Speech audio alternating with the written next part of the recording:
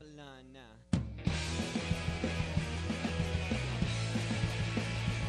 You can detest me, protest me, you can provoke me, try and revoke me, but no matter what you say, I will still be playing rock and roll. Poster art, as I see it, is a creative way to um, extend a specific performance or an event. It's art and it's an advertisement.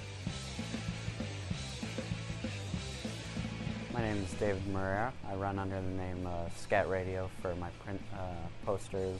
Uh, oftentimes it's for bands and events. I really like to draw out text, so I try to find a spot for it and then draw around it or insert it into a space or an object.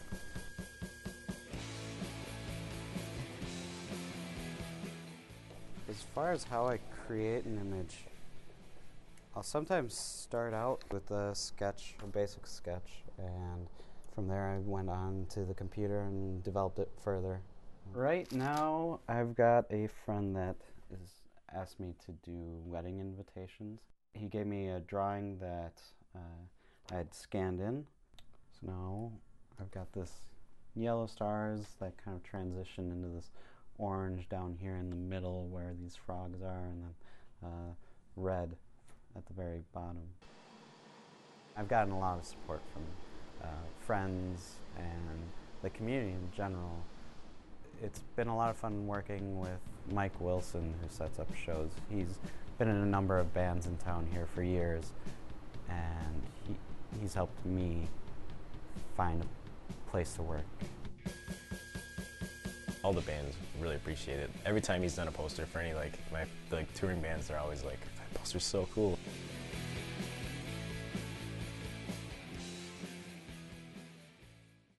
I never really had the confidence to be in a band, so doing posters was a way for me to be a part of what they're doing without actually having to perform on stage.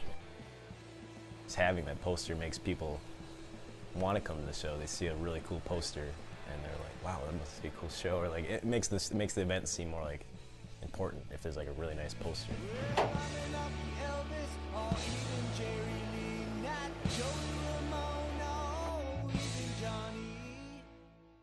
I'm hoping to spend more time in Duluth and write out for artist grants in order to develop a studio big enough to invite other people to work in and invite the public to check it out, see what printing's like, and learn. Said no say.